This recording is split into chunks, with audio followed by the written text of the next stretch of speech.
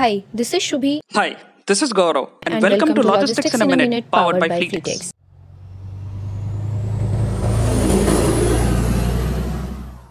One of the major last mile delivery service providers in the UK, Fast Dispatch Logistics, is set to launch its services in India.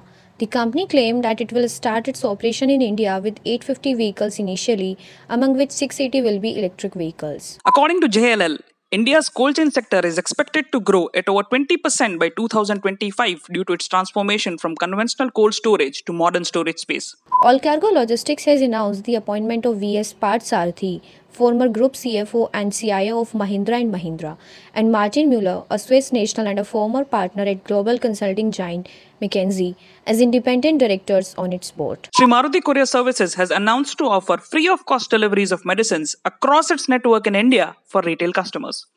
Any person who would like to dispatch medicine to their near ones can reach out to any outlet of Shree Maruti Couriers the company will deliver the medicines at the destination's nearest outlet of Shree Maruti Couriers. The customer can then collect the parcel from the office without paying any courier charges for the same.